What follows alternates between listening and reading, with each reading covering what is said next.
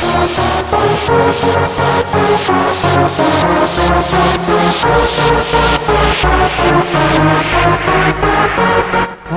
mensen, welkom terug in Megablok wereld. De vorige keer heb ik natuurlijk Minecraft gemaakt en de keer daarvoor de rails.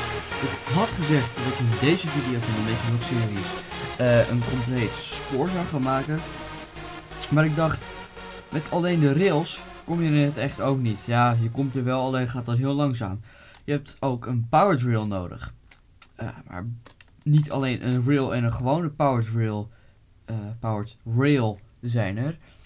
Maar er zijn natuurlijk ook nog andere. Dit is een activeringsrail. Uh, en dit is een detectiesrail.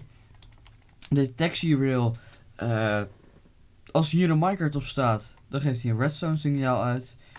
Wat dus gebruikt kan worden voor, ik kom nu hier langs, dus ik wil dat dit open gaat bijvoorbeeld. Als je een deurmechanisme hebt bijvoorbeeld. En het activeringsspoor uh, heb ik zelf nog nooit gebruikt. Maar volgens mij is het zo dat als je dit uh, powert.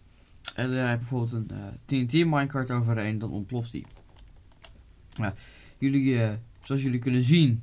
heb ik drie keer de gewone rails gekopieerd. En in deze video ga ik dus voor deze drie aparte rails zeg maar. Ga ik de gewone rails aanpassen om eruit te zien alsof het dus uh, de speciale rails zijn. Dus laten we maar gaan beginnen.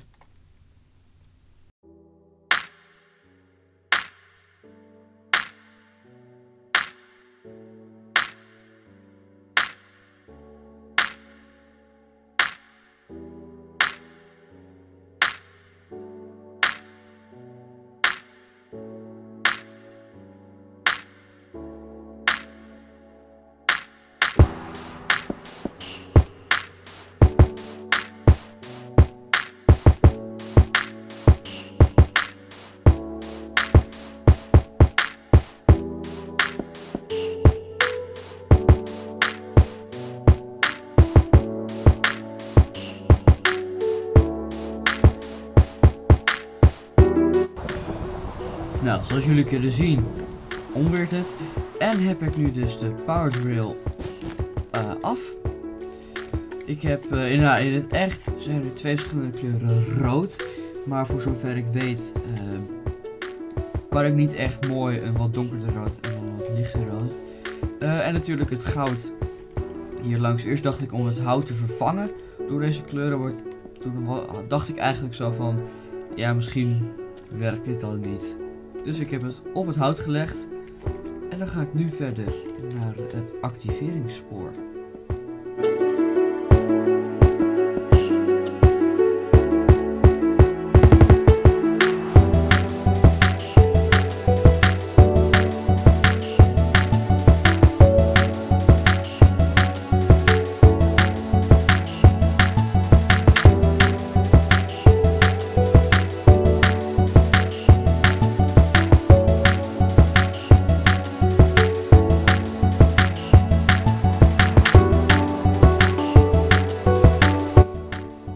Zoals jullie kunnen zien heb ik uh, bijna, als ik nog een paar dingetjes uh, doe die, ja, ik dacht heel even dat het uh, in het spel heel raar was. Dat er maar één pixel, zeg maar, plek in het midden van normaal twee pixels rood was. Um, nu is hij helemaal af, de activeringsspoor. ook hier weer met verschillende kleurtjes rood. wat dus niet kan. Uh, met deze texture pack in elk geval. Want bedenk dat wel, ik gebruik een texture pack. Dit is de OCD Disco volgens mij. Uh, ik vind dit een heel mooi texture pack. En voor mij is dit zo'n beetje standaard Minecraft geworden. Ik kan gewoon eigenlijk niet meer spelen in, uh, met een gewone Minecraft textures. Um, dus ja, in dit texture pack kan ik hem niet helemaal namaken. Maar misschien werkt het dus wel in gewoon Minecraft.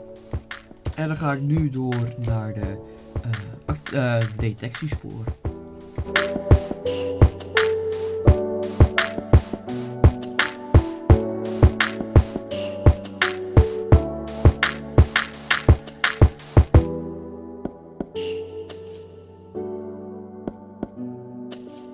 Nou, de detectiespoor is nu dus ook af.